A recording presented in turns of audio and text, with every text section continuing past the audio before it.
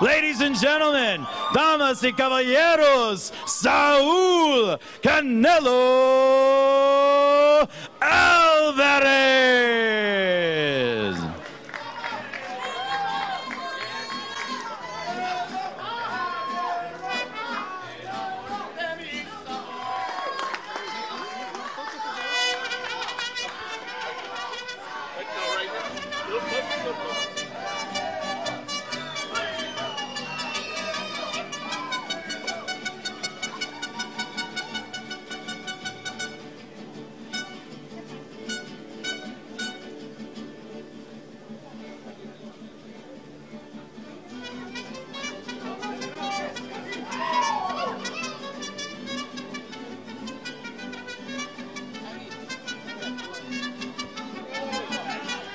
Ladies and gentlemen, boxing's biggest superstar, the middleweight champion of the world, Saturday night headlining for the first time in Madison Square Garden, the world's most famous arena, the mecca of boxing, exclusively on DAZN.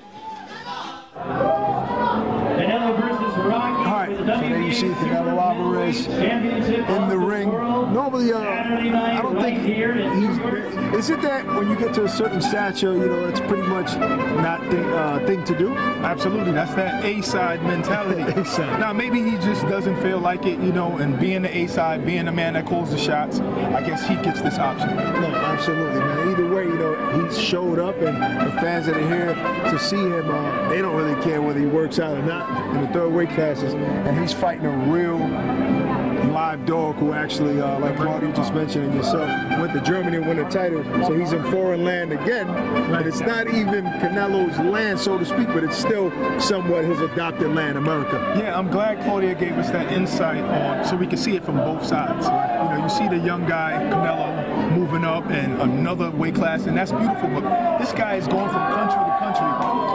Obviously, where he's unwanted, I guess a humble person as Rocky is, I think he can appreciate every moment that you're in.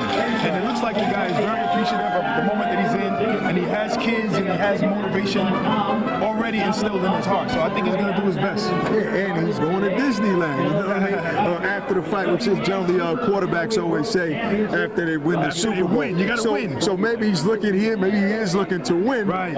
Because in order to go to Disneyland, you got to get the W, so to speak. I mean, I'm excited about this entire card. Uh, not only the main event, uh, it's going to be a packed house. Most likely, it's going to be a sold-out crowd. You know, for those who haven't got tickets yet, if there are any left, better go to you know Ticketmaster or you know or wherever the tickets are being sold. Um, but if you can't make it to the garden, many of you are not going to be able to. left, actually. Yeah, It's it about might to be it might sold be out. sold out. Just download the app. All you have to do is download the app for nine ninety